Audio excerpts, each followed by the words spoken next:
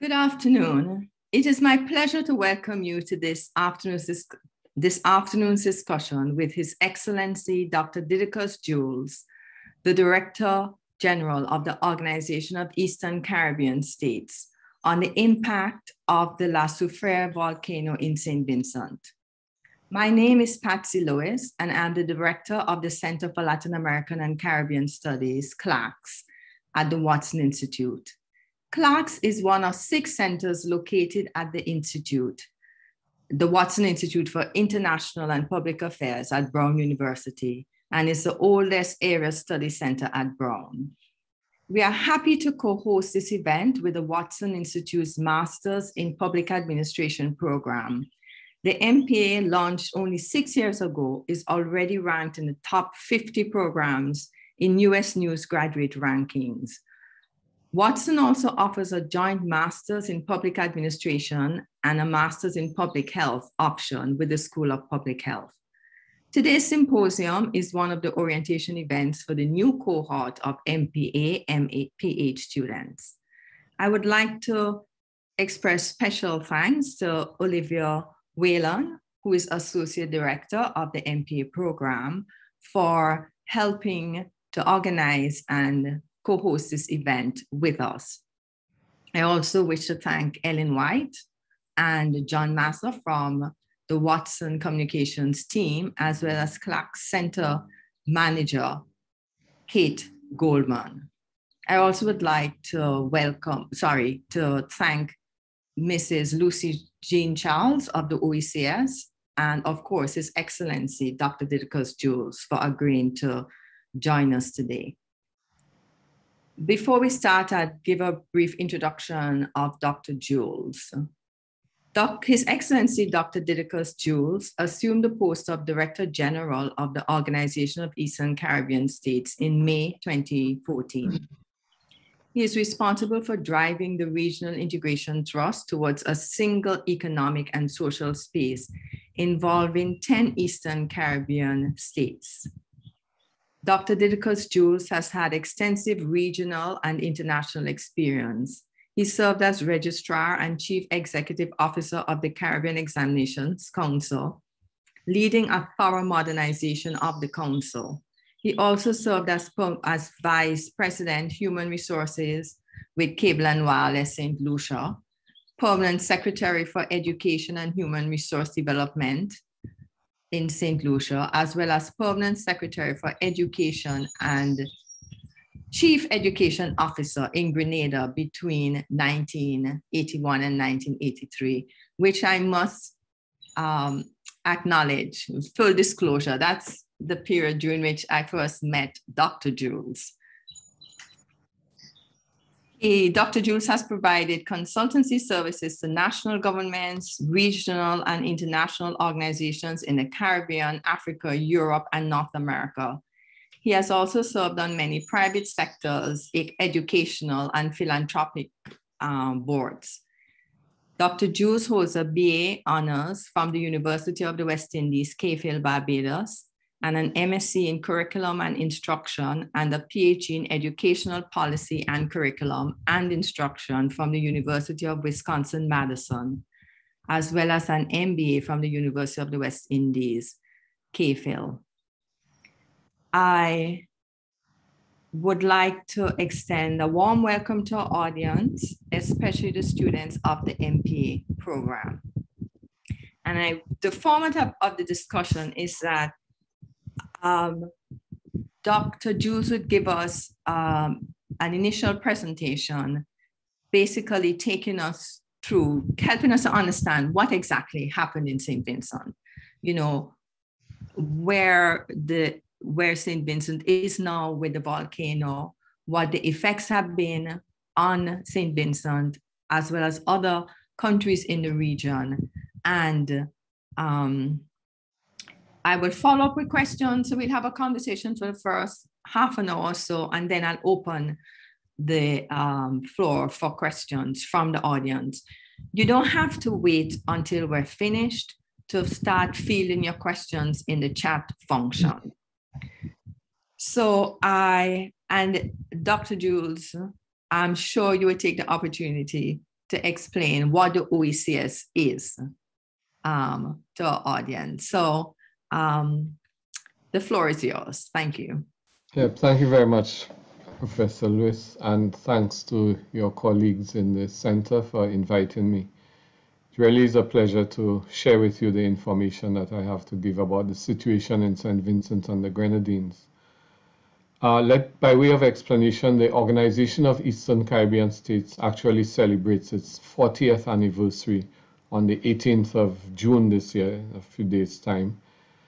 Uh, we are an integration movement of actually now 11 member states, and at this meeting of the heads of government meeting, there will be a 12th member joining. We comprise six independent member states of the Eastern Caribbean. If you look at the chain of islands um, on the Caribbean map, starting from below Puerto Rico with uh, the US, the British Virgin Islands, going all the way down to Grenada in the southernmost tip of that chain of islands. Most of these islands are part of the OECS, except with the exception now of the Dutch-speaking countries. So our objective is to have a seamless integration movement uh, establish a single economic space as well as a social space. Uh, six of the independent, six of the, the members are independent states, six are British and French dependencies. So we have three independent states as part, Martinique, Guadeloupe, and Saint Martin. And um, we've been described as a more successful European Union. There's no Brexit, and um, we are pushing ahead with the solidarity. I was saying to Professor Lewis earlier, sometimes what people see as being a disaster also carries within it great seeds of opportunity. And for us, every disaster is an, is an opportunity to restore our resilience, our determination to succeed, and to find opportunities for us to deepen our solidarity with each other. In the last 10 years, every disaster that has hit the Caribbean has taken us to a new plateau of solidarity. So I just want to get into a presentation. I will share my screen to just take you through what has happened in St. Vincent and the Grenadines. Um, are you seeing my PowerPoint? Yes. Yeah, okay, let me go into presentation mode. Okay, I think I have to, I have to invert, right? Um, I don't no, think so. Okay, I did the wrong thing. Yeah. Okay, so you see in the full slide presentation? Yes. Full page? Yeah, okay. So um, the information here gives you an update up to yesterday. And um, the lot, there, what has happened is Soufrière volcano has been in St. Vincent from the time the island emerged from the ocean. And there have been several periodic um, eruptions. The most recent eruption happened a couple, about a month ago. And there have been, it was, it was characterized by a series of, of volcanic effusions, um, most of which well, the country for some time they had been showing heightened activity because um, in in modern times, that is from the 1970s, St. Vincent has maintained an active watch on the volcano, given the, the danger that it poses.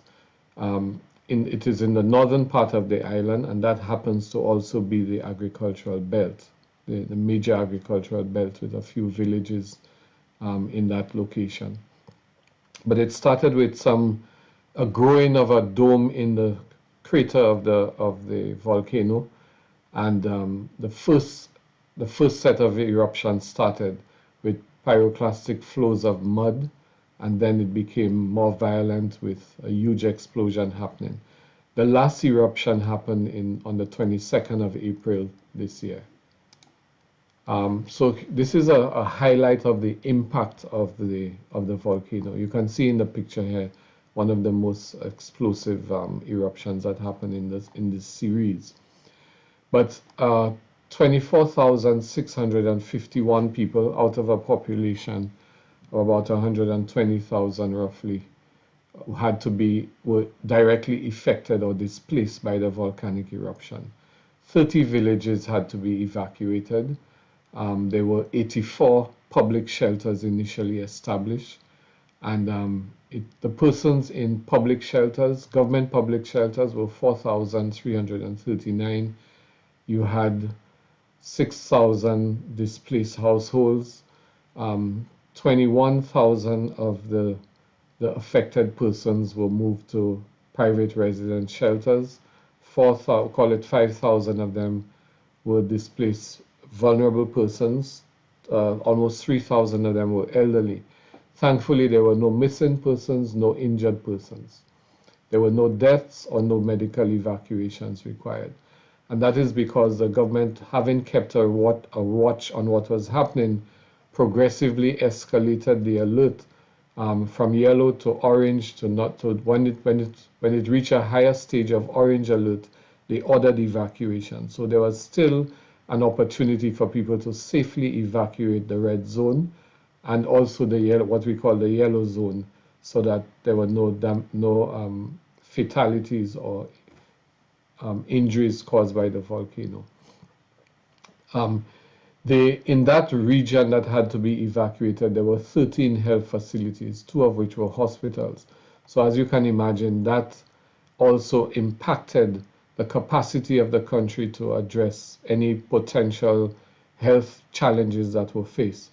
Now, the good news about this is that the Organization of Eastern Caribbean States, from the time the volcano started showing early signs of reawakening, um, worked with the major disaster agencies, that is the Caribbean Public Health Agency, as well as the Caribbean um, Disaster Preparedness, um, Preparedness Agency, um, CDEMA, to, to have plans in place in order to deal with the situation. So, for example, in the OECS, we were prepared to accept uh, approximately approximately 12,000 of the evacuees because the carrying capacity of the country did not allow it in shelters to hold as many as 20 plus 20,000 plus evacuees. Um, when the evacuation did happen, however, we found that many of the Vincentians were not willing to evacuate off, off island. And that is understandable because if we put ourselves in their personal situation, I would not want to leave my country, even to go to a friendly neighbor, neighboring country. I would want to restart my life as easy, as early as possible. And given the indeterminate um, predictions on what how long this would last and what would be the ultimate impact, I think people wanted to sort of take it, rough it out, and see how best they can restore their lives and livelihood. So they in the end, the government had to extend its its um, facilities, and uh, we had to assist with bringing in supplies and um, temporary housing facilities, tents, and other resources in order to keep things going. Uh, the there were 19. Now all of this is happening at a time when COVID is is running through the region as well. We've been impacted by COVID. So three of the isolation centers were also affected by this. The hospital bed capacity on the main island was 200. And in the Grenadines, there are about 30 islands associated with the state of St. Vincent and the Grenadines. There were 20, uh, the total bed capacity in the Grenadines was 21. Now, this happened at a time when we had 154 active COVID cases. And up to the 15th of May, with the, between evacuation and the need to ramp up the administration of vaccines in order to build some population immunity, up to 17,800 persons had been vaccinated. So um, on the 6th of May, the National Emergency Management Organization lowered the volcanic alert from red, from red to orange and with that, persons were asked from the orange and yellow zone residents to go look to begin to return home and begin cleaning up. And a two week food package was provided to, to all families involved in that relo relocation. The commencement of our rainy season this month has posed serious threats also of volcanic mud flows. And in fact, to compound the crisis, um, just about two weeks ago there was heavy, there were heavy rains in um, in St. Vincent, and as a result of that, the green zones, which were the safe zones where most people were relocated, were badly flooded. So we had a combination of having to deal with a combination of COVID, of the volcanic displacement, and then with floods in the safe areas. Um, the, the, the, impact of the volcano has been felt very strongly in particular sectors. So in education, besides the impact of COVID on the fracturing of um, school attendance, we, many schools had to be closed for long periods of time. Face-to-face learning has been resumed for students who are expected to sit the Caribbean examinations, terminal examinations, and classes resumed as of the 17th of May. Now, many schools are being used for public shelter. So the buildings, several buildings that are currently being used as learning hubs are now being used as learning hubs to facilitate the continuation of face-to-face -face learning um, so that because the schools in the safe zones are being used as public shelters. And the other students remain very dependent on virtual learning. So even students in the shelters. So we have been working with the government of St. Vincent and the Grenadines to provide additional devices, laptops, computers, um, working with the provide the internet providers to ensure that there's access, adequate access to the internet, and a lot of support coming from UNICEF Barbados in the rollout of learning devices to ensure continuity of learning. The registration period for children entering governmental-owned preschools and primary schools for the upcoming academic year has commenced as of the 1st of June. But um, and the Caribbean Examinations Council has delayed examinations for, by two weeks in order to accommodate students in St. Vincent to do their catch-ups for the exams. The introduction of an informal learning program commenced on the, the 10th of May, actually called Growing Through the Ashes. And this is a program designed by teachers and education officers in St. Vincent and the Grenadines, supported by their counterparts in the rest of the OECS to address the learning needs from preschool to Form 5. And we've actually configured a piece of, of, of an application called OECS iLearn that works on laptops, devices, as well as mobiles, mobile phones, in order to ensure access to continuity of learning is available to everyone. And a blended program is now being implemented in the shelters that also includes provision of psychosocial support on Mondays and Wednesdays, and with the continuity of learning program being conducted on Tuesdays, Thursdays, and Fridays. The, in agriculture, as I said, the volcano zone coincides with the, the rich agricultural belt of St. Vincent and the Grenadines. And in fact, within the entire OECS, St. Vincent and the Grenadines, and the Grenadines is one of the most dynamic spaces for agriculture. They have done the most in terms of food advancement on food security. They have been the leading country in the intra-OECS trade of agricultural products and produce. Um, and all of this now has been affected severely by the volcano. The reports from early May reveal that a third of the country's agricultural production has been wiped out, and the agricultural losses ranging in the range of 150 to 175 million EC dollars, Eastern Caribbean dollars. The rate of exchange is, is roughly 2.7 to 1. In the red zone alone, which is the immediate um, concentric circle around the volcano, 100 all of the vegetable crops, 80% of the root crops, 65% of the arrowroot crops were destroyed. Arrowroot is a is a tuber that is um, unique, well, very special to St. Vincent. St. Vincent is perhaps the largest producer of arrowroot in the world, and it is a very important ingredient in um, in the feeding um, the foods developed for baby feeding of babies. Um, the with the weight of the ash the ashfall, 90% of tree crops have been damaged. And in the orange zone, which is the next concentric circle, 75% of agricultural production was destroyed. Fisheries were impacted also due to changes in water conditions because there's a lot of runoff of not just um, muddy water, but also ash, ash-filled water, ash-saturated water going into the near, zone, near shore areas. So whatever reefs are there are being badly impacted and it is, you know, creating real stagnant conditions in the water. Um, the livestock and poultry, poultry very affected and killed. What prior to, once the, the alert had been given, efforts were made to relocate livestock, but the remaining, all livestock were actually just allowed to roam freely, so they found their way out of the danger zone. Animals have that instinct.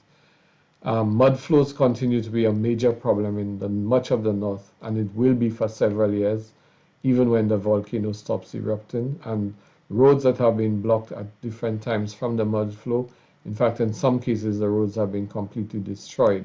So there's a huge challenge there for infrastructure. On the, at the level in the area of food security, shelter, and livelihoods, um, most of the persons relocated from the red zones, mainly farmers, are not expected to leave their shelters anytime soon because out of an abundance of caution, even if the eruptions have subsided, the government will not allow relocation in the red zone until they are absolutely sure of the security um, for persons going back in. But that, however, there's a continuing sense of worry among individuals returning to the orange and yellow zones, not so much because of the threat of new eruptions, but due to the destruction of jobs and the ash in um, public spaces. Vulnerable families need support with the restoration and cleaning of their homes. In many cases, roofs, roofs have collapsed from the weight of the ash.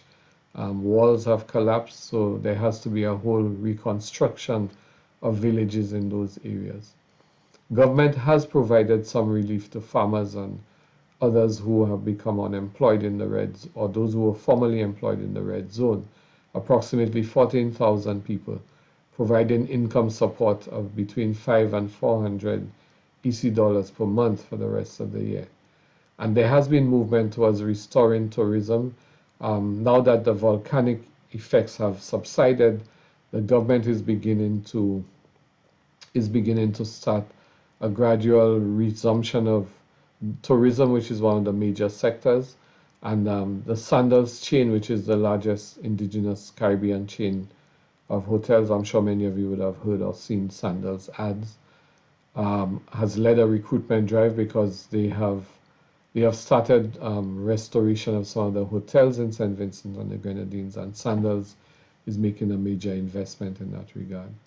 So food packages, stipends, one-time disbursements are being provided to other affected groups living outside of the red zone. For persons who have been relocated in centers, they are being fed and sheltered there. For persons who are being sheltered with friends and family, support is also being given to them. So the socioeconomic impacts um, have been deemed to be very significant. Um, a regional CARICOM World Food Program survey in 2020 found that 60% of the respondents from St. Vincent and the Grenadines reported job or income loss in their household, and a third were eating less or skipping meals. Now, that is just the impact of COVID on St. Vincent and the Grenadines. So you can imagine these statistics quoted have been exponentially compounded by the impact of the volcano. In terms of resilience and recovery, the government of St. Vincent now continues to focus on phase one of its response, which is humanitarian response, provision of housing, clothing, and the feeding of evacuated citizens, and have started now transitioning into the cleanup and reconstruction phase, um, which obviously will be necessary to bring some semblance of normality to the affected areas except for the red zone um, there is need for evacuation um, for determination of the usefulness of trash in an economic and feasible manner for construction. Now, this is where being part of the Organization of Eastern Caribbean States is helpful to Dominica, because, to St. Vincent, because we have a coalition of over 150 international philanthropic bodies, private sector entities, um, civic organizations, environmental organizations who are all working to assist St. Vincent and the Grenadines in its medium to long-term recovery. The, the, the emergency phase has been pretty well covered by the specialized Caribbean agencies who are designed to provide that support. But where the longer term support is going to be required and huge investment is going to be in the reconstruction and the, and the recovery, the recovery and reconstruction phase. So support needed for farmers in, um, in the building of capacity and production is moving forward with the provision of equipment and um, provision of strong technical advisory support and material support for the cleaning of fields as well as the reseeding of the restoration of farms. The water service has been restored in the bottom half of St. Vincent and there will be need now for construction and engineering support to restore water catchments and to build more resilience going forward. There are huge opportunities in ecotourism and um, even some measure, some degree of volcanic tourism. Montserrat has, we've learned the lessons from Montserrat, which had a volcanic eruption about about 10 years ago. And um, all of that is going into the efforts, the plans for reconstruction. The World Food Programme is supporting the nationally led response by lending its global logistics capability, including personnel, equipment, and transport. Um, there's the strengthening of data management through the digitization of government systems. So we are working, for example, with one of the one of the, the cloud centers to provide at no cost to the government a complete backup of all government records and and services so that they, in the event of any further eruptions, there will be no loss of data necessary to provide seamless service to the, to the citizens. The World Bank has disbursed 20 million US dollars from a contingent credit line, um, what is known as the catastrophic deferred drawdown option, um, in order to aid the government of St. Vincent. PAHO has been providing healthcare facility visits and assessments during that period, during the, the, the, early period of the of the disruption. 30 facilities were visited, 26 of which were assessed, including four in the yellow zone and 22 in the green zone. The World Food Programme and PAHO Logistics are supporting logistics and providing food vouchers, cash transfers to displaced healthcare workers and to vulnerable groups approximately 6.9 million US has been mobilized under the UN Global Funding Appeal to support St. Vincent. And um, the Food and Agriculture Organization has been providing breeding stock, seeds, planting material in order to support a rapid production re, re restart of the agricultural sector and has allocated 100,000 EC dollars to support to provide feed for the livestock sector. The International Red Cross has distributed cleaning kits to families in private centers and continues hygiene support and COVID prevention messaging. So that essentially is the um, is the situation as it now stands with St. Vincent and the Grenadines. And in terms of the OECS response, our focus is to bring together the sup consolidated support of all of the member states of the OECS in providing um, support in logistics. So we have been helping with the provision of fresh food and vegetables from the other islands of the OECS. We've done a tremendous amount of work in in water, huge quantities of water in the early stages of the of the disruption. Now, with the water supply being gradually restored in St. Vincent and the Grenadines, we are turning our attention to working with that international coalition I spoke about in order to ensure that St. Vincent has um, the support required, technical, material, and logistical support to begin its, its recovery. And we are very clear that this crisis has provided us with an opportunity not just to reconstruct, but to build back better. That is looking at green economy, the, the blue economy, and ensuring that resilience of infrastructure um, is built into the modernization of St. Vincent and the Grenadines. Um, thank you, Dr. Jules. This was um, very informative. But I want you, can you give us a sense of scale? Um, St. Vincent is a small island. Um, mm-hmm. can you give a sense of what this means? Have there been um, any assessments on the on the like a dollar value to the economic cost, for example? Um, you talk of most of the the efforts at addressing um, the current situation is seem to be more immediate and short term and not sustain you know over a longer term i mean for example the one shot payments from government to families or even the payments from other international um, bodies but you mentioned that this requires a longer term effort to you know at building back better which didn't really happen in Grenada. It's a nice phrase, but it, you know, is never clear um, that it actually happens. And there's a big, one would imagine a big price tag. Who is going to be funding um, the reconstruction of St. Vincent's economy? Well, in the first instance, the first phase of the reconstruction starts with just simply trying to get livelihoods back in place. And that is why the the resuscitation of agriculture, which I spoke to, is so important. So at least you get some um, restoring food security on the island, um, but also using that as an opportunity to begin to accelerate the intra the intra island trade in agriculture and in other goods and services across the OECS. And that was why I said earlier that sometimes a crisis provides you with a unique opportunity um, we have been speaking for, the, for many years about the need to ensure that the OECS tr trade in the intra-OECS trade right now, um, at least up to about two years ago, represented only about 1% of the trade, the collective trade of the OECS. And most of that trade is conducted between the OECS islands and, the, and Miami, Florida, in the, the US.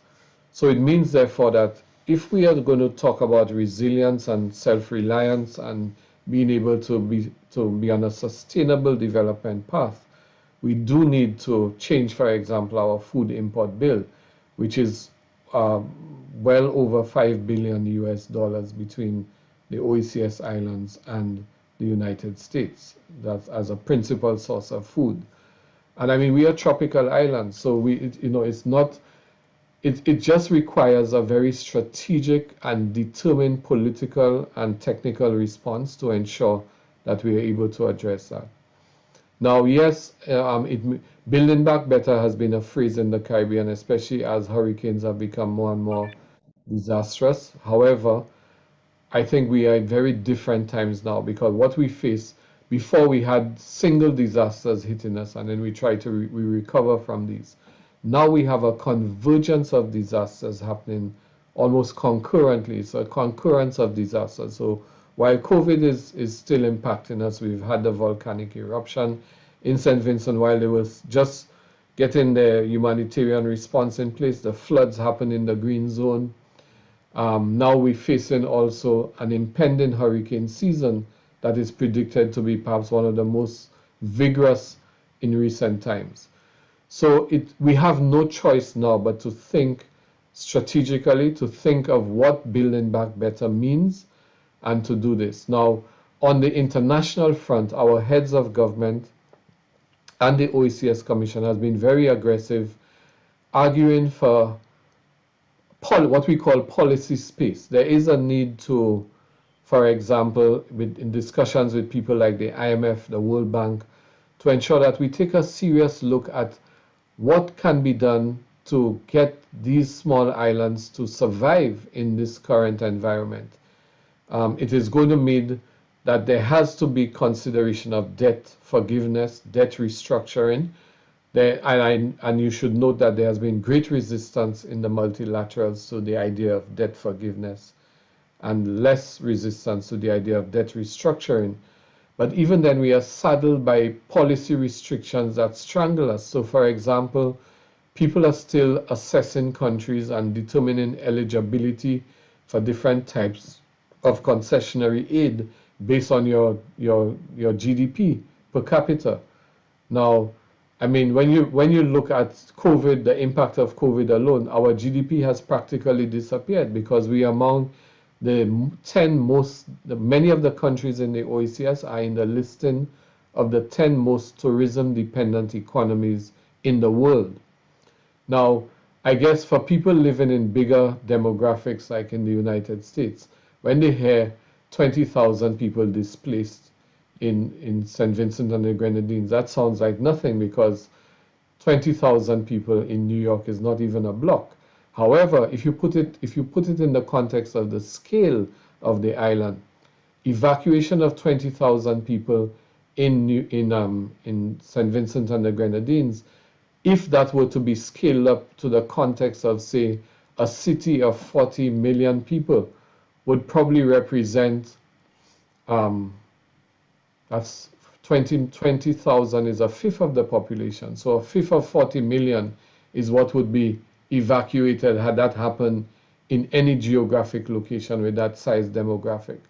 So, and that too is actually a, a, sort of conceptual challenge for us in, in making our representation on the international stage.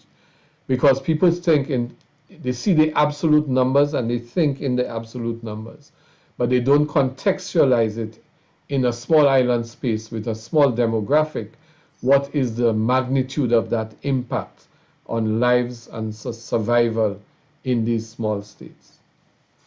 Um, thank you, Dr. Jules. We have uh, quite a few questions, um, two of which continue the discussion on the economy, but I'll hold off on these, um, come back to those later, and ask Alexandra Johnson is asking what percentage of the island has been vaccinated.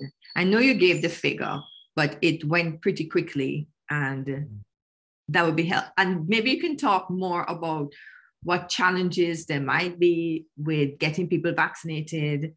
Um, does St. Vincent and the Eastern Caribbean generally, broader Caribbean, have enough access to vaccines?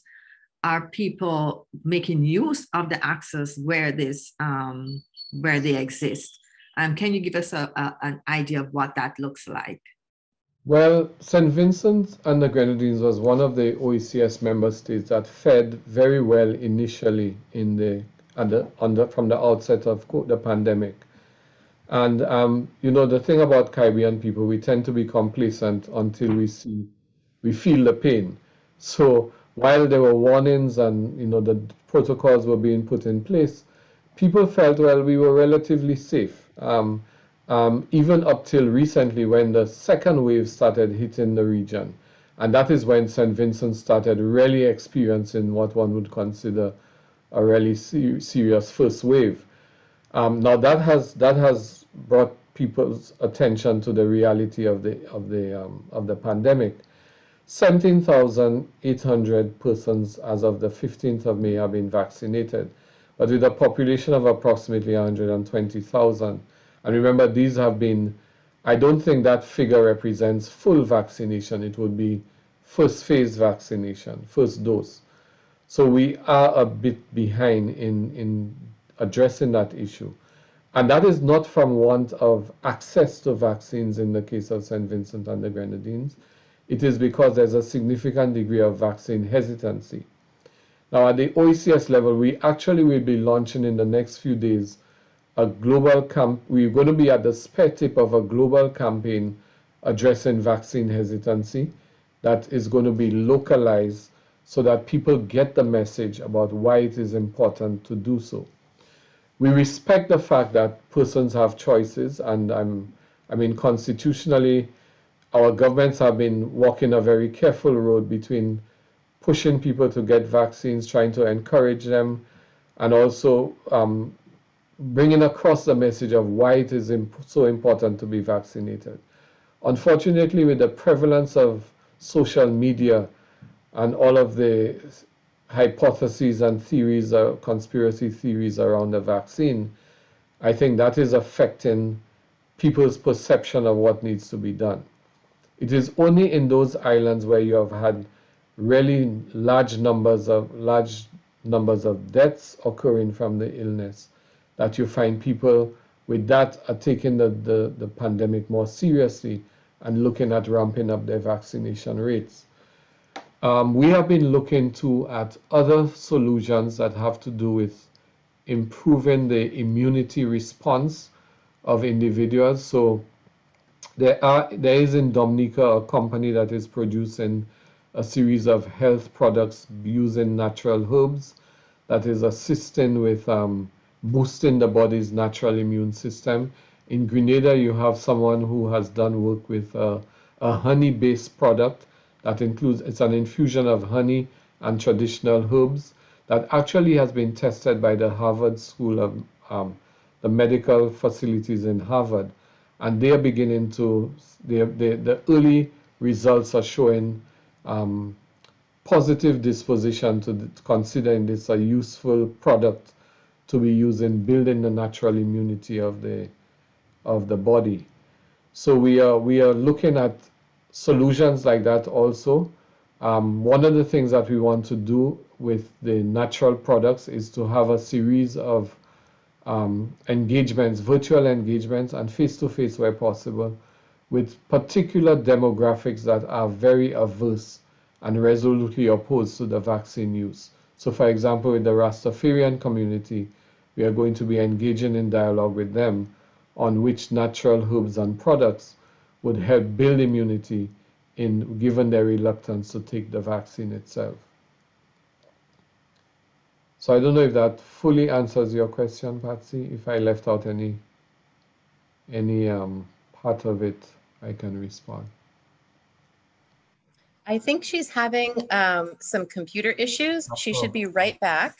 Okay. But I don't know if you want to take a look at one of the questions in the chat. Another I question. noticed, yes, I noticed there's a question from Jose Jackson Malet, who's a, a Vincentian, I think he says, at um, Michigan State University. And the question is about the relocation of evacuees from the red zone. says the news reports are that many are reluctant to return to the area for various reasons. Given the danger that is posed from the volcano and the damage caused, caused, what recommendations do you have for the government? Should they be asked to return or remain in the green zone? Okay, so this is a, a, a huge challenge for the government as well. Um, I can assure you that, um, and we have, I, let me first of all say that, you know, I'm not speaking as an outsider from the Vincentian situation, although I'm located in St. Lucia. Our, our heads of government have been meeting um, almost weekly in the early stages of this crisis in St. Vincent and the Grenadines, meeting with Prime Minister Gonsalves as well as different members of his cabinet in order to you know, exchange information, dialogue, to get directly from them what are the most critical needs, what do we need to do to provide support, and that dialogue is ongoing. Um, we are in touch with the national emergency, so it's not just a political dialogue; it is also a technical dialogue. The the challenge with um, the government asking people to return to the to the orange zone um, the red zone people, as far as I know, are not being asked to return to the red zone. In fact, in some way, in some respects, um, re-entry into the red zone is still prohibited, notwithstanding the relative dormancy of the volcano at this stage. Um, but what is happening there is that persons from the the other zones, certainly the yellow and the orange zone, are being encouraged to go back in on a limited basis to begin their own cleanup and restoration of their of their of their lives. Um, from the OECS end, what we've done is dialogue with the government. We are preparing, for example, to have a visit of um, uh, the infrastructure um, committee of the coalition that I spoke about, which involves a significant um, partnership with the U.S. Chamber of Commerce and some of the large engineering firms within the US who will come in and help do an assessment of the situation, the condition of housing. Um, they also is going to be in that party that will be visiting uh, um, a company that has a specialized arm that looks at the the, the, the production of co construction material using volcanic ash. So in fact, we, we are looking at an initiative that speaks to using ash, turning ash to cash, we call it. That would see to what extent can we make use of that, the tons of hundreds of tons of volcanic ash that have been dumped by the volcano in order to create um, a, a, a construction industry in St. Vincent and the Grenadines that would also feed into the reconstruction um, opportunities. So yes, there is. This is not being taken lightly. Um, people are not being forced back into the, the, these zones, but they are being definitely being encouraged to begin to go in and start to look at the reconstruction um, and what needs to be done to help them get there. And thank you, Didacus. Apologies, everyone. My electricity went and came back immediately and came back right after. So I just had to shut down computer and start all over again. I have consequently lost, I think, the earlier chat question. So I'll ask Kate to continue asking those. Well, I can pick up on one I see. And okay. person is sure. asking whether the aid the aid is perceived as sufficient for rebuilding the country or are there gaps where international organizations and other entities should be stepping up more? Definitely, I can say, and, and not just in the case of St. Vincent and the Grenadines. In every disaster that has happened in the Caribbean in recent times, and certainly within the OECS, that is actually part of our strategic planning and logistics, that we are not going to be dependent on aid to do what we need to do. We are simply looking in the humanitarian phase of every disaster to draw as much support as is possible to make things happen. So, for example, at the Organization of Eastern Caribbean States Commission, we had set a target, and if you follow our social media or go on our website, www.oecs.int, you will see that the emergency response, we're trying to raise 100 million US dollars in cash support that would enable the government to, to, to jumpstart its efforts. But we are very clear that, and people of the Caribbean are very proud people too. And this is why um, we do not rely, believe that we should just be receivers of indefinite aid. And this is why, for example, even after the immediate evacuation, when we had made preparations for, tw for 12,000 persons from St. Vincent to be relocated in other islands of the OECS, which being supported by friends, families, governments in the OECS. We had shelters established and ready in some of the islands to receive our sisters and brothers from St. Vincent. The Vences decided they were not going because they were just adamant they would prefer to stick it out in the rough conditions in St. Vincent so that they can do what they could to restore their livelihoods. And I can understand that because if this happened in St. Lucia, I would not want to, as kind as um, the offer may be from others, friends and family and strangers in other islands in the Caribbean to house me indefinitely. I would not want to do that because they, if it if it were for a finite period, I know okay, I'm only going for two weeks a month, then you can plan accordingly. But to be housed indefinitely in another island, you know, with supported by other persons, it does not do for your own sense of human dignity and your plans to get your life restored. So, so that, that there, there are going to be investment opportunities. Now, in the discussions we've had with the coalition, for example, we've we've put certain very clear conditions on the assistance. We're saying, first of all, we welcome the humanitarian assistance. That's in that phase. As we go forward to the reconstruction, what we are looking for is um, knowledge, expertise, and investment. So, but we also clear that we did not want the humanitarian response to be a Trojan horse that would now see foreign companies and um, and entities coming into St. Vincent and, the Grenadines, assisting the, in the recovery in an investment capacity, and end up dominating and owning the economy. So the idea was that whatever investment comes in to St. Vincent, and there are huge investment opportunities which the government is encouraging and we are promoting. That investment must also provide opportunity for the local private sectors, the regional private sector, and also the ordinary citizen to participate in the recovery. So, for example, the credit union movement in the OECS is particularly strong. And in fact, in many respects, it is it is it is more reliable than the banking sector, the commercial banking sector, because this is where ordinary working people, poor people are able to bank their pennies to get assistance from when they need it. So, but the, the credit unions in the in the OECS sit on a couple billion US dollars. And that money now sits in foreign banks being used for on lending for consumer consumer goods, etc. And we at the OECS Commission have been strenuously advocating that we need to have a different regime with our credit unions where there's opportunity for them to get involved in major investments taking place in the islands. And St. Vincent, that situation in St. Vincent provides us with such an opportunity.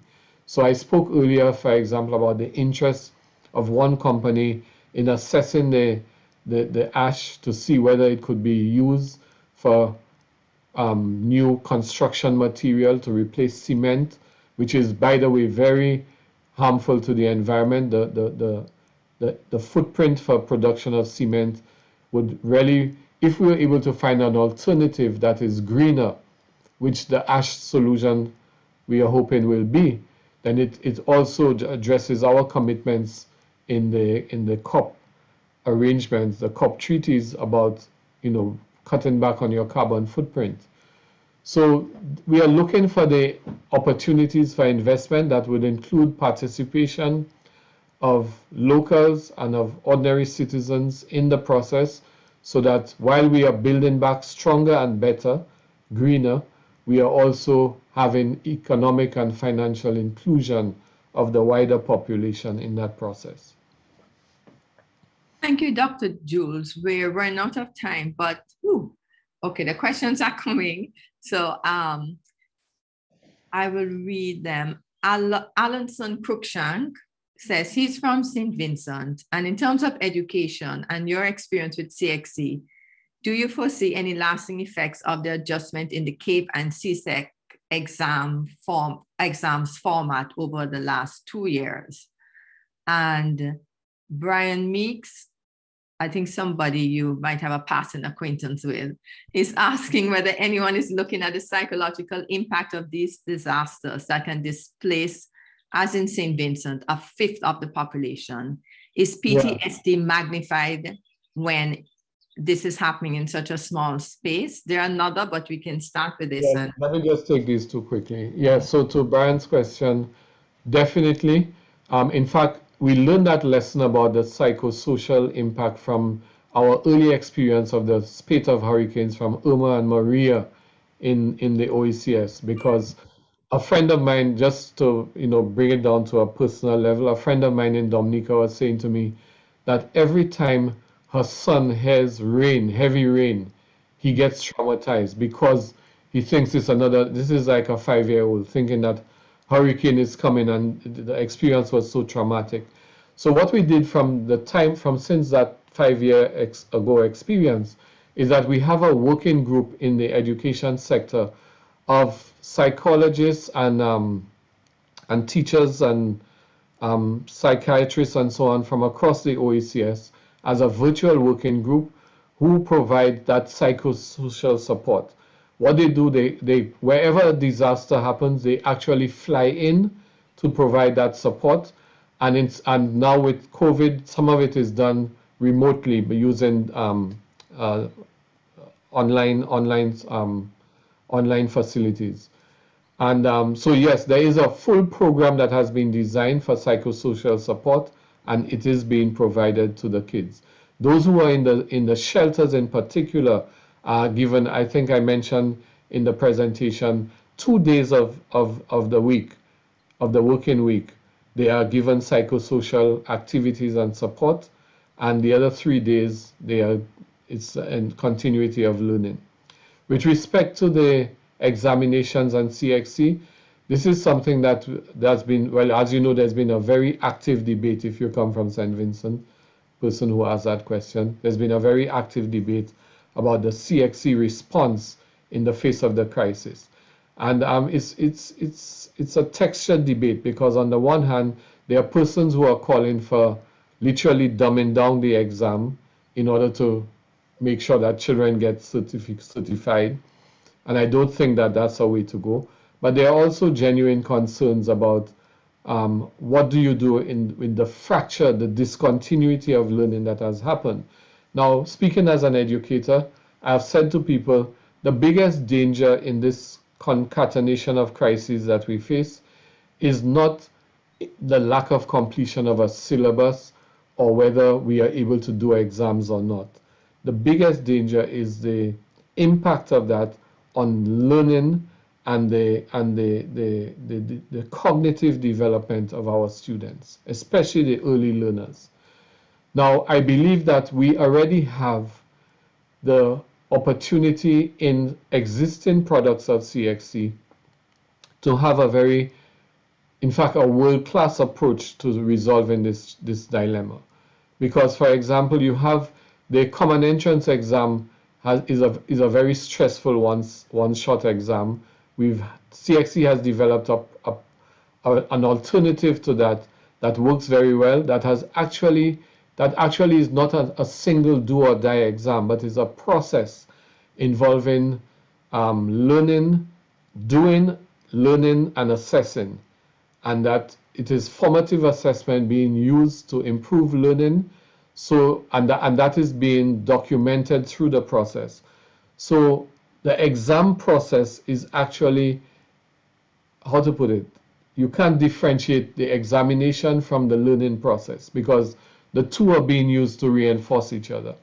I think that initiative provides us with a doorway to transform the other CXC examinations in a way that makes it possible for formative assessment to become part of the landscape of learning so that we will both improve learning, accelerate learning, but also have psychometrically valid ways of giving certification.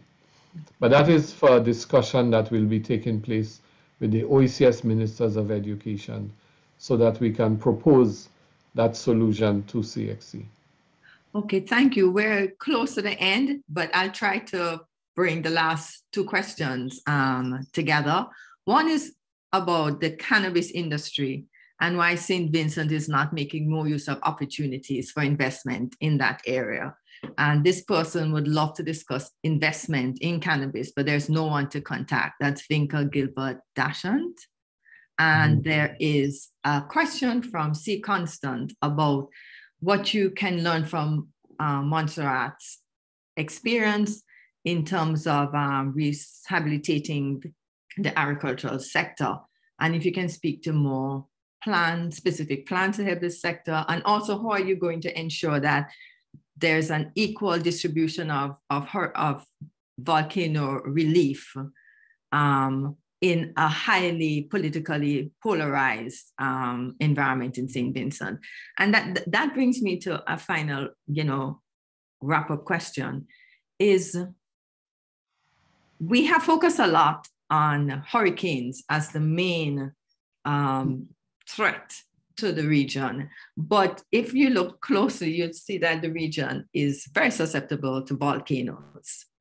Mm-hmm. And what, what is in place regionally to address, to have a, a, a you know, a more far-reaching perspective on the threat that volcanoes pose and how the region plans to address these as they come up as a, as a more endemic problem for the region. Okay, so your last question first. Um, it means strengthening the, the disaster response mechanisms and the disaster response mechanisms because of the, the, the diversity of disasters that we are confronted with. And um, CDEMA is at the focal point of that, the Caribbean um, disaster response mechanism. However, CDEMA does not just look at hurricanes. They've they've come to the to public consciousness because of their very active role in the last the early set of hurricanes that Irma Maria. But in the volcanic situation, they've been active. So it is a question of us looking at how can we upscale those agencies to give them the resources required in order to play a much more dynamic role. And that has been something that we have been working on. So for example, the OECS Commission's role in these disasters has not been a lead role, it has been a role of backup support. So we use our diplomatic links, our relations with development partners, and so on to help provide the support needed. We use our the fact that we are in, at the apex of the integration movement to draw on pull expertise from all across the OECS in whatever area of need there is so that we have our own people you know providing the expertise required alongside the international support that we get we um so so the the on on the cannabis point with St. Vincent and the Grenadines St. Vincent actually was the leading country in the OECS on the cannabis front they have done the most research they've they had put in facilities in place they've passed legislation they've done um, for example made changes to the to the, the, the legal record of persons who were on minor charges of cannabis. They've decriminalized. So a lot has been done. And in fact just last week i had a discussion with the minister of agriculture honorable saboto caesar saying by lamenting that all of that work has been destroyed by the volcano because they actually had physical facilities in place that would involve, involve for, for use in research on cannabis and so on. And cannabis products were actually being um, prototyped in these facilities. And interestingly, his response to me is yes, well, yes, we've lost everything. However, the most valuable thing we've not lost, and that is the knowledge and the experience. And it enables us now to start back with on a on a faster footing with better experience. And I think that is instructive because it tells you something about the mindset at work in that sector. So um, I am hopeful that that the cannabis um, the cannabis industry in St. Vincent will pick up very fast. In the longer term perspective, St. Vincent will be better off. I was even jokingly saying to Minister Caesar, you better start um, copywriting a brand and call it um, Vincy volca volcanic weed or something, because because it is a fact that after once the volcanic ash um, is you know is purged of its caustic qualities and so on, you've seen boost in agricultural production once it gets you know properly tilled into the soil and everything. So we're hoping that St. Vincent will actually be boosted in the coming years as an agricultural breadbasket. Barbados will also benefit because they, they got a substantial downfall of ash as well. What were the other two questions that you had asked quickly? And um, one question was about um, what we can learn from Montserrat for the agricultural sector and how do you um, circumvent um, the deep, in, well, political fissures in St. Vincent okay. to ensure so that equality. The lessons from Montserrat, in fact, um, have been incorporated into the the programs and the initiatives that we're doing for the recovery and the response in St. Vincent and the Grenadines. I mentioned earlier that um, we've had we have we have working groups of different kinds um, involving the best expertise in that area from across the OECS. So the persons from who have been at who are at the core of the recovery of Montserrat are actively involved with CDEMA and with St. Vincent and the Grenadines in helping them assimilate those lessons and chart the way forward. So that that is not a problem. Um, the what the agricultural impact of the ash I, I spoke about earlier is in fact a lesson learned from from from um, from Montserrat because Montserrat's recovery, you know, it's the soil, the, the soil texture and everything has been enriched. On the political front, that continues to be a challenge because frankly, in many of the islands, the politics is very deeply polarized.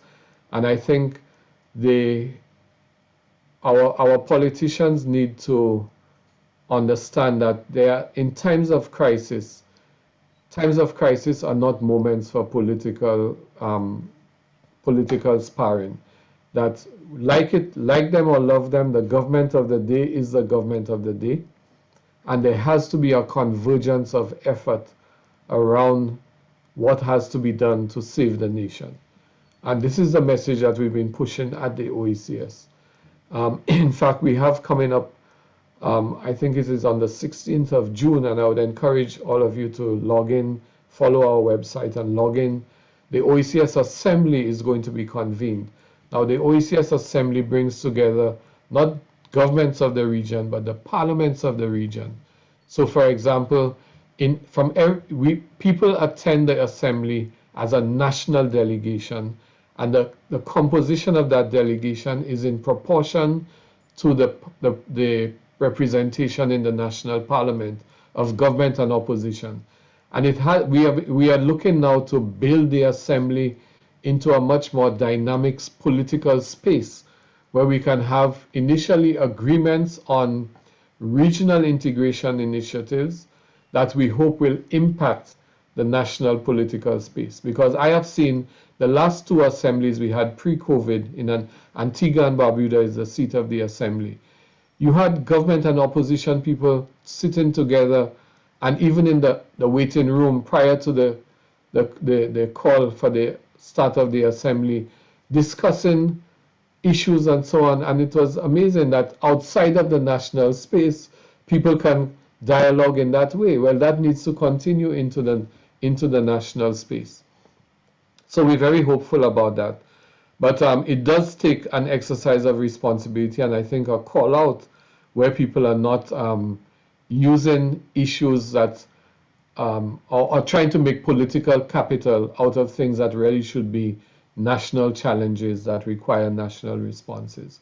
And the challenge is to both governments to to take the high road of ensuring that they invite and engage the opposition perspective and for the opposition not to score, seek to score cheap political points. Okay, we have gone over our time by um, eight minutes. Um, so I'm happy and grateful that Ellen and John and Kate have borne with us, as have you, um, Dr. Jules. Um, if you'd like to make one comment before we close, um, I'm offering you that opportunity. Well, given given the nature of this um, institute, my last comment would be to encourage people to sign up on the OECS, and I'm shamelessly pitching because I think that's if you're really interested in the Caribbean, Caribbean development, um, international relations, and the Caribbean dynamic, sign up on our website you can you will get fortnightly updates on all what is happening in the OECS. There's a tremendous amount of work being done on um, the green, blue, orange economy, on resilience, on infrastructure building, on climate change that I think you will find useful, and on youth, youth, youth, gender, and disability are three critical cross-cutting demographics for us in the work that we do. So I encourage you to, you know, sign up. If you don't like it, you don't, uh, you don't need to follow us, but I'm sure you will find it have useful and interesting what we're doing. And we welcome critical feedback and suggestions and recommendations coming from the audiences that we engage with. Thank you very much, Dr. Jules. Um, this was a really interesting um, conversation. Um, thanks to all of you for staying